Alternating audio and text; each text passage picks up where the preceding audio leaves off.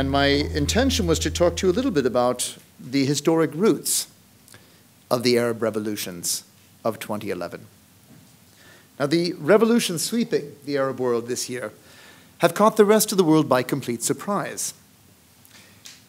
We had the example of the communist regimes of Eastern Europe falling after 1989, but the Arab world seemed to get entirely left behind by that wave of democratization. In fact, all the Arab regimes that were in power in 1989 were still in power at the beginning of this year, with the exception of Saddam Hussein. Some blamed Arab culture. Others said Islam was incompatible with democracy. But most agreed that the Arab world was going against a global trend of greater democracy around the world. But the events of 2011 have decisively undermined this notion that the Arabs aren't ready for or don't want democracy. The demands for political freedoms made by protesters in North Africa, in the Middle East, and in the Persian Gulf over the past few weeks and months all really underscore this broad based appetite for democratic rule. They've been repressed for decades by governments that denied them their, their basic freedoms, and they saw their countries driven to some of the lowest levels of human development. Now, millions of Arabs have reached the breaking point. They're tired of their corrupt and autocratic governments, and they've watched them, these governments enrich themselves at the expense of their citizens. People across the Arab world understood the despair that drove Mohamed Bouazizi, the vegetable seller of Tunisia, to set himself on fire in protest against an unjust and corrupt government. And the solution the Arab peoples are seeking today is the right to choose and to change their rulers by the vote. Now, what most people in the West don't appreciate is that the events of 2011 have deep historic roots in the region. It goes right back to the 19th century. Arab reformers have debated the merits of constitutional government since the 1830s, and they've taken active steps to try and balance autocratic rule with constitutions or elected assemblies as early as the 1860s. Even in the 19th century, interestingly enough, it was Egypt and Tunisia that led the way. And ironically, given our present day doubts about the role of Islam in politics, the person who really initiated the discussion of constitutionalism in the Arab world was, in fact, a young Muslim cleric or an alim named Rifa al Tahtawi. Tahtawi left his native Egypt in April 1826. It's a wrong debate. Now, it's true that Islam as a political force can and will play a role. It will be different from country to country. Uh, the, the, the, the, cards are laying different uh, in, uh, in, in, each country. And yes, we, we will have to look at that. My guess is that, first of all, and I agree completely with uh, uh, Eugene, is that now that bin Laden is dead, he was already redundant, now he's doubly redundant. Jihad in the Arab world was dead 10 years ago, if not 20 years ago. It had some, you know, uh, a little a little upwards spring after 9/11, uh, but very shortly in the Arab world, it moved to Central Asia, to Afghanistan, Pakistan, where the where the situation is completely different. They were not present on Avenue Habib Bourguiba in Tunis. They were not present in Cairo. They try a little bit now to, to, to send to the world all kinds of communiques, etc., because they don't have a social constituency, they don't, have, they don't mobilize the people, so they have to, you know, they're now a fax machine business. And who is taking up these things? The West. We're obsessed with Islam. Mm. We should get over it. No, yeah. but I, I, really mean it, and it's getting me, you know, I, for. And that's why your lecture was so good. I mean, it's, it's true, Islam is there, it's part of the cultural fabric, it's even part of political movements that will mm -hmm. play an influential role. But they're moving much more, and that's how I'm going to finish my, my answer. They're going to much, they're going to move into what we have known here in Europe as a, a Christian democratic movement. They will play by the rules of democracy because they have learned at their own expense, mm. and most of all, because they were, everybody was repressed badly in these countries. But the Islamists double, double. They paid a very high price, an incredibly high price, and they know, they all agree now that the democratic rules of living together are the best to organize a polity. My view is people keep saying, What can we do in the West? What positive thing can we do in the West? And I think the best thing the West can do is not interfere at the political level, take away agency from those who are bringing change to their own systems, but to do everything at the economic level to help the new successor governments succeed in the eyes of their own citizens. What does that entail? It would be a kind of, pardon the Americanism, a Marshall Plan. You know, a plan for the deliberate reconstruction of war torn or revolutionary torn societies.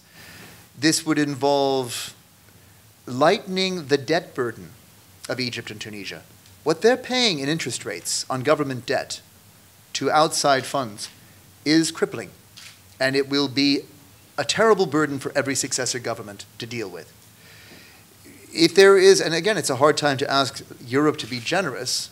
They're very generous in dropping bombs on Libya at the moment, but ask them to open their markets to Tunisian tomatoes, you know, flowers, um, opening larger quotas for the produce of these countries, taking such measures to encourage foreign direct investment in the new democracies to encourage job creation. If there were a meaningful investment by the West in the new democracies, it's not just benevolence. The Marshall Plan never was. The Marshall Plan was an attempt by a very industrially comfortable post war America to bring the rest of the world up to a standard where they would be good trade partners. It was in America's economic interests mm.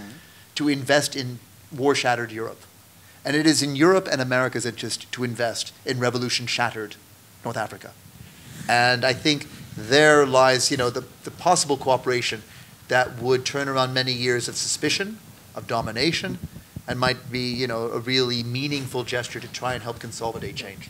The problem is that at the at the wrong time of demogra uh, demographic transition when a lot of youngsters went to school and then came on the arbit the, the, the, the, job labor market, they found that, that uh, the, the economic developmental projects that, that were installed were actually uh, not of the type that were creating uh, jobs in the country itself.